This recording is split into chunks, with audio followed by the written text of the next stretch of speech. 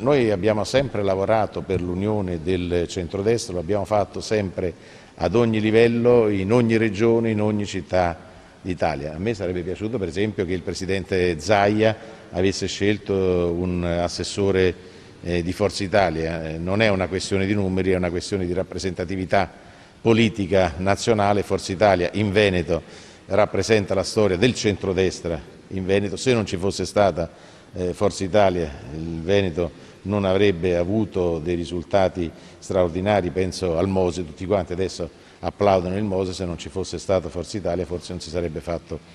eh, il Mose, quindi Forza Italia vuole continuare ad essere protagonista in questa regione, pronta a sostenere una coalizione di centrodestra per vincere anche nei comuni, ivi compreso Conegliano.